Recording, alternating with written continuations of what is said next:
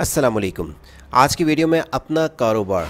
You bank 30 lakh तक का कर्ज दे रहा है, जिससे आप कैसे अप्लाई कर सकते हैं और इस बैंक से अगर आपको कर्ज चाहिए तो किस किस पर्पज़ के लिए आप कर्ज ले सकते हैं?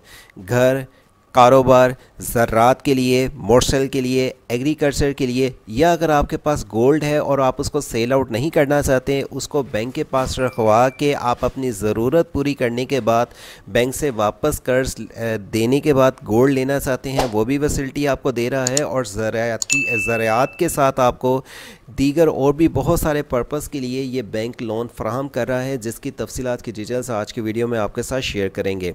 आपको बताते चलें यू बैंक पाकिस्तान में तकरीबन तमाम शहरों में इनकी ब्रांच है और आप अपने नज़दीकी ब्रांच पर जाके इस कर्ज़ के लिए कैसे आसानी अप्लाई करने के बाद कर्ज़ ले सकते हैं, इसकी मुकम्मल तफसील से आपको आगाह करेंगे। लिंक इसी वीडियो के डिस्क्रिप्शन पर ये वाला मिल जाएगा, जिसे ओपन करने के बाद आप इसकी मुकम्मल इंस्ट्रक्शन जान सकेंगे, जिसमें आपको कम मार्कअप के ज़रिए यू बैंक की लोन से फ़ायदा पहुँच सकता है। तमाम का अप्लाई करने का तरीका तो एक ही है, लेकिन इनकी रिक्वायरमेंट किस के लिए? अगर आप घर के लिए या कारोबार के लिए, या अगर आपको किसी और शोबे के लिए कर्ज चाहिए तो उसका क्या रिक्वायरमेंट आपको कंप्लीट और कागजात देने होंगे, उसकी तफसीत की डिटेल्स बताएँगे। नीचे ही यहाँ पे आपको आने के बाद डिटेल्स बताते चलें। U Bank branches click here के आप बटन पे जब क्लिक करेंगे तो पाकिस्तान में यू बैंक की जहाँ जहाँ पे ब्रांच अवेलेबल है, उनकी डिटेल्स कुछ इस तरह से ओपन होके आ जाएगी। अगर आपके पास ये पेज कुछ इस तरह से छोटा नज़र आता है तो इसको जूम इन करके चेकआउट कर सकते हैं। पाकिस्तान का कोई ऐसा शहर नहीं है जहाँ पे यू बैंक की ब्रांच ना हो। आप उनकी ब्रांच का सबसे पहले अपने नज़दीकी एड्रेस को फाइंड आउट कर लें। फाइंड आउट करने के बाद आपने यहाँ पे इनके अपने, जैसे मैं एग्जांपल गुजरावाला से हूँ तो मेरी गुजरावाला में इनकी ब्रांच कहाँ पे है? और अगर आप यहाँ पे आके दूसरे, तीसरे, चौथे आगे मुख्तलि पेजों में आके अपने शहर की यहाँ पर डिटेल्स इनकी ऑफ़िस की चेक कर सकते हैं, जहाँ पर आप जाके अपनी किसी भी ज़रूरत के लिए, इनसे कर्ज़ के लिए अप्लाई कर सकते हैं। अप्लाई कैसे करना होगा? आपको किस पर्पज़ के लिए कितना कर्ज मिल सकता है और वापसी आपको कितनी देर में करनी होगी? मिनिमम मार्कअप के ज़रिए अगर आप फॉर एग्ज़ाम्पल सैली परसेंट हैं या कारोबार के लिए कर्ज लेना चाहते हैं तो कितनी रकम आपको मिल सकती है? जैसे कारोबार के लिए आपके पास सिर्फ़ वैलिड आईडी कार्ड हो, आपके पास पासपोर्ट साइज़ तस्वीर हो और आपके पास यूटिलिटी यानी कि घर का बिजली का बिल हो, आप अप्लाई कर सकते हैं। छः माह से लेकर चौबीस माह तक इसकी वापसी करनी होगी।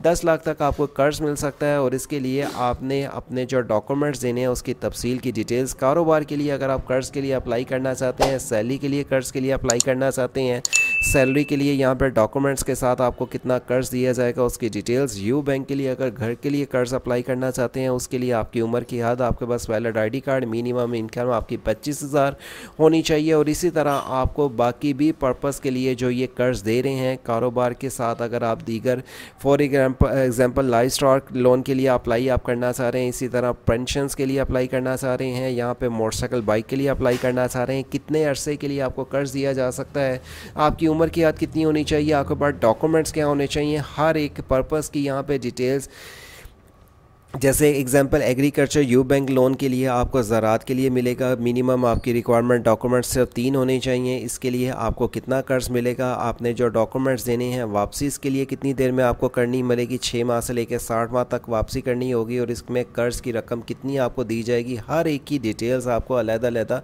लिखी हुई मिल जाएँगी और आप अपनी ज़रूरत के लिए इनसे आप कर्ज़ ले सकते हैं। जैसे मैंने आपको वीडियो के स्टार्ट में बताया, अगर आप गोल्ड रखवा के कर्ज़ लेना चाहते हैं, अपनी ज़रूरत पूरी करने के बाद इनको गोल्ड के पैसे जो आपने उनसे लिए होंगे वापस करने के बाद आप वापस गोल्ड ले सकते हैं। उसके लिए भी इंतहाई आसान तरीका इन्होंने रखा गया है।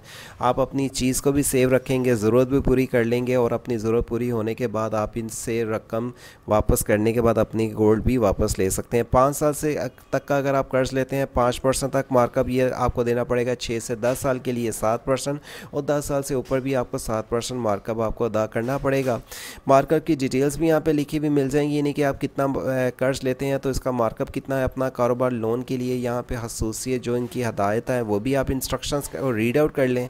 अप्लाई करने का इंतहाई आसान तरीका आपको बताते चलें कि अगर आप इसमें से किसी भी कर्ज़ के लिए अप्लाई करना चाहते हैं और उसकी इंस्ट्रक्शन जानना चाहते हैं तो उसके लिए आपने कैसे अप्लाई करना है? अप्लाई नो कर बटन पर क्लिक करने के बाद इनका हेल्पलाइन नंबर पर कॉल आ जाएगी, जिससे आप टोल फ्री नंबर या कॉल करके मज़ीद इन्फॉर्मेशन ले सकते हैं, या नज़दीकी ब्रांच में जाके आप इनको मुकम्मल इंस्ट्रक्शंस बताएँ कि मुझे इस पर्पज़ के लिए कर्ज चाहिए। चाहिए तो आपको डॉक्यूमेंट्स बताएँगे, वो फॉर्म फिलअप करने के बाद आपने वो डॉक्यूमेंट्स देने हैं। फॉर्म फिलअप करने के बाद आपको कर्ज़ फराहम किया जाएगा और अपनी ज़रूरत पूरी करने के बाद आप कर्ज़ की वापसी कर सकते हैं। और इसकी तफसील की जो मकम्मल इंस्ट्रक्शंस है, इसी वीडियो के दिए हुए डिस्क्रिप्शंस और sage dot com website open करने के बाद दीगर और भी बैंकों की लोन और फाउंडेशन और इस तरह की आपको मज़ीद और भी गवर्नमेंट लोन की तफसीत की डिटेल्स मिलें तो इस वेबसाइट को आके विज़िट करें, जहाँ पर आपको और भी बहुत सारी इस तरह की अपडेट की तफसीत की इंफॉर्मेशन मिलेंगी। वर्ड से ऑनलाइन चैनल पे अगर आप जुड़े रहेंगे तो आपको किसी और भी बैंकों की या फाउंडेशंस की या गवर्नमेंट लोन की तफसीत की डिटेल सबसे पहले मिलती रहें तो चैनल को आकर में अपने दोस्त अब आपके साथ लाजमी शेयर करें। अल्लाह हाफिज़।